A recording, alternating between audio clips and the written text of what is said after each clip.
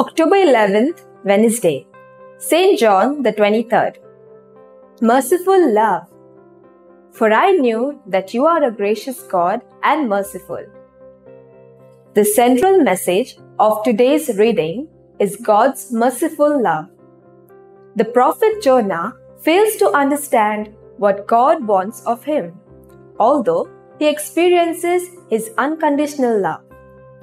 One can witness here how God longs for his people to return.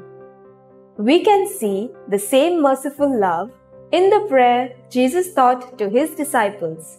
The inner longing of the disciples enables them to request Jesus to teach them to pray. Does it mean the disciples never prayed? Or did only Jesus know the accurate way to the Father? These questions have answers in themselves. In the history of Israel, the prophets, the elders, and all Jewish people prayed to God, but they lacked an aspect of total dependency on God.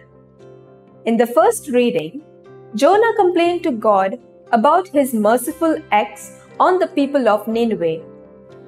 But by teaching the disciples how to pray, Jesus showed us that God is not a dictator but a merciful Father.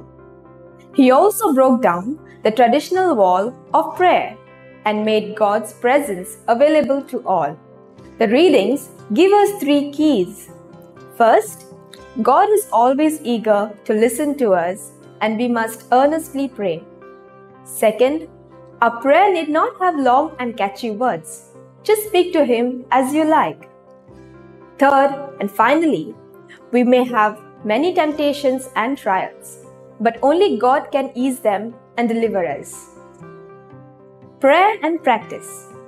Lord, grant us the courage to pray and witness you in all our deeds, so that every word and action of us may lead to all those who come across us towards you.